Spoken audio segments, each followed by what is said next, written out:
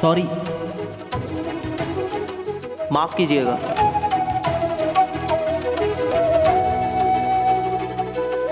माफ़ी? कोई हमसे भी माफ़ी मांग सकता है?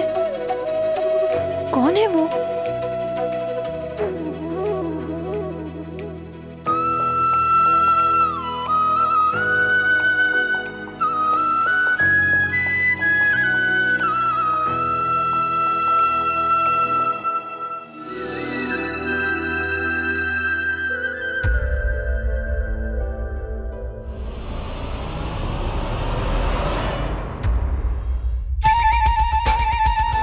ये तो वो बरगद के पेड़ वाले प्रेत जी है।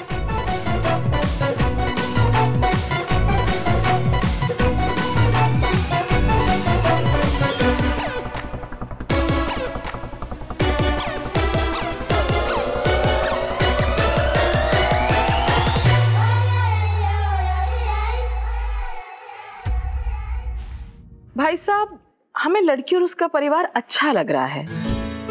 लेकिन आप लोग तो जानते ही अपने बेटे को। कितना सोचता समझता है। इसलिए हमने अभय से भी कहा है कि वो भी एक बार मिल ले। जब सब अच्छा था तो मिठाई काहे नहीं लाई? पता नहीं क्यों हमें अभी भी थोड़ा खटका लग रहा है। क्या हुआ? लड़की पसंद नहीं आई? नहीं नहीं लड़की तो अच्छी है। अभय के साथ फिर से एक बार जाके मिल लेना चाहिए। कितनी बार मिलोगी? अरे हम तो तुम्हारे बारे में पता भी किए थे। परीक्षा भी लिए थे तो क्या फ़ायदा? देख लो सर पे तांडव कर रही हूँ ना। खा अम्मा आप भी। अम्मा जी अगर हम तांडव किए होते ना तो इस घर में परलय आ गया होता। आप ही देखिए आज भी आपके हिसाब से इस घर में खाना बनता है। सब एक साथ मिलके खाते हैं और चैन की नींद सोते हैं। सच तो ये है अम्मा जी, जिनको आप पसंद करके खूब खुश थी ना, उन्होंने तो इस घर में ऐसा तांडव किया कि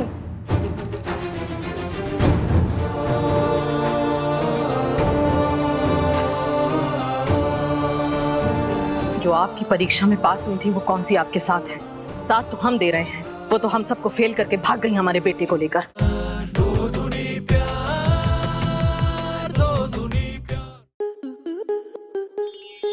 आपके मनोरंजन पर अब नहीं लगेगा कोई ब्रेक स्टार प्लस के बेहतरीन शोज़ देखने के लिए लाइक शेयर और सब्सक्राइब करें स्टार प्लस यूट्यूब पेज को.